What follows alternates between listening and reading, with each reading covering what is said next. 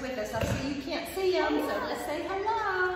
All righty. we hope everybody is doing great this week. We hope that you're dancing a lot and doing that hope up close and Yes. personal that is so sassy. Uh-huh. How about those Broadways, huh? You like that? Shit going on. All right, if you've done it, you know what I'm talking about.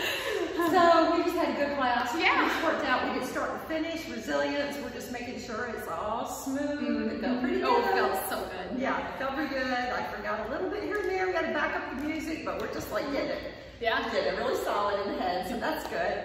So we have one outstanding issue that we thought we want to talk to you about. Yeah.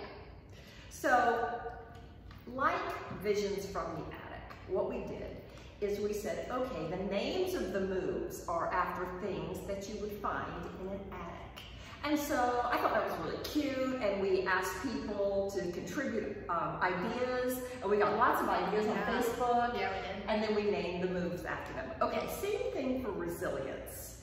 Now we've talked a little bit about what resilience is, Mhm. but one of the things that I think about resilience is that to be resilient, you really have to have a virtual uh, toolbox of skills. You know, as life gets tough and things are challenging and we're facing difficult times, you know, we do have to be strong and resilient. So how do we do that? So we each end up, as we mature, as we grow up into adults, we end up collecting a virtual toolkit of coping skills, Right.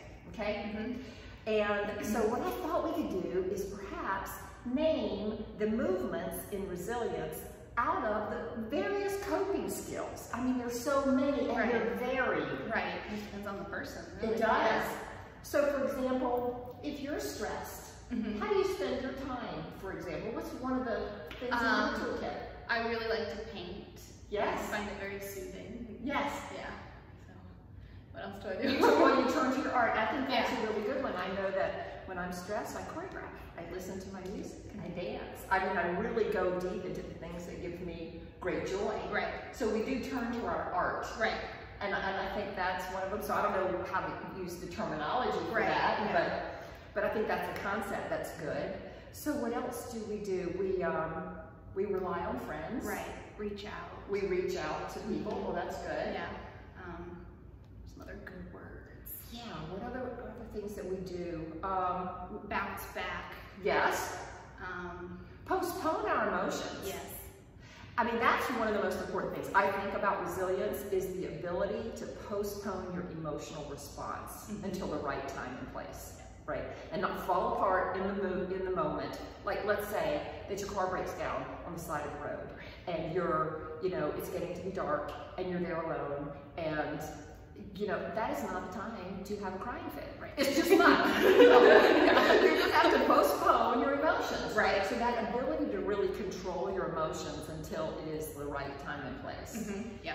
And I don't even know like how to turn that. So I thought maybe we come up with like vague concepts, Right. and then we could figure out words that mean it. Yeah. I think that's a good idea. Yeah. Any any other? Let's let's see if we can come up with like one more before we listen to music. Yep. uh, go on walks. Um, I don't want to say eat because we should have that. Uh, but oh, uh, pray. Some people Yes, pray. yeah. Yes. I mean, so there are a lot of things that we have in our in our virtual toolkit of coping skills, Mm-hmm. and everybody is different. So that's kind of the idea that we have about naming the moves. Now we've got temporary names on everything Yeah. now. That's kind of how we're communicating about the things in resilience, but they're unrelated to the concepts of resilience. So we're ready to like get to the fine tuning of this class Yeah. to where we really clean it up. Yeah. So really what I would love it is if you think of any words that you think represent coping skills uh, that we need in this world, then please suggest them. Go to our chit chat and that little button that's right below in your membership and just click chit chat and just share the word. You don't even have to give a lot of explanation if you don't want to. Just like throw the word out there. So that really helps and then it'll be kind of cool because when you do resilience, you'll be like, yeah, we did that. Yeah, yeah. But it's fun. Remember when um, we named a move Tinkerbell? Uh -huh. And Katie? Yeah, she got so excited. She got so excited. She was like, you named yeah. Tinkerbell what I said. Yeah, yeah. yeah. So it is, yeah. it is really fun. We'd love to have your help and collaboration on that. Yeah. Okay, sending lots of love. Yes, right? just sending lots of love, strength, vitality.